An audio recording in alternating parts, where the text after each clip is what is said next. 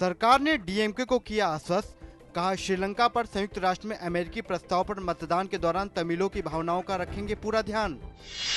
बिहार के मुख्यमंत्री नीतीश कुमार ने आज नई दिल्ली के रामलीला मैदान में अधिकार रैली को संबोधित करते हुए बिहार को विशेष राज्य का दर्जा दिए जाने की की मांग। मुख्यमंत्री ने कहा कि विशेष दर्जा मिलने से राज्य के विकास को मिलेगी गति।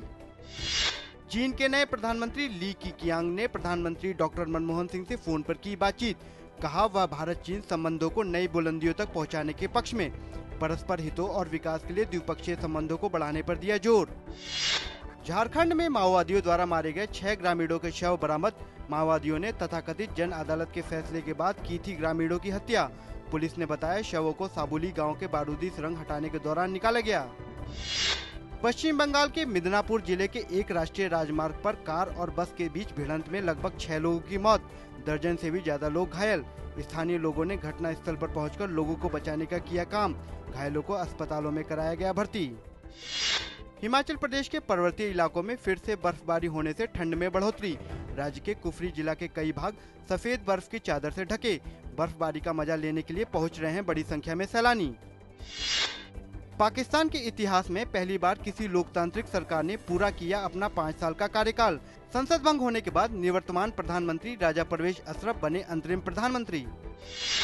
चीन की संसद का वार्षिक सत्र आज एक दशक में नेतृत्व परिवर्तन की व्यवस्था के साथ नव निर्वाचित राष्ट्रपति शी जिनपिंग के हाथों में कमान सौंपे जाने के साथ ही संपन्न। नव निर्वाचित राष्ट्रपति ने चीनी सपनों को हकीकत में बदलने की दिशा में काम करने के लिए उठ खड़े होने का किया आह्वान। मध्य मेक्सिको के तलकसला में विस्फोटक पदार्थों से लदे एक ट्रक में विस्फोट होने से कम से कम तेरह लोगों की मौत, एक सौ चौवन लोग घायल। अधिकारियों ने बताया कि इस ट्रक में उस समय आग लगी जब स्थानीय लोग एक संत के स्वागत में पटाखे चला रहे थे और इसकी चिंगारियाँ चलते हुए ट्रक पर गिर गई दो बार की गत चैंपियन साइना नेहवाल का Swiss Open Grand Prix badminton प्रतियोगिता में सफ़र समाप्त हो गया है।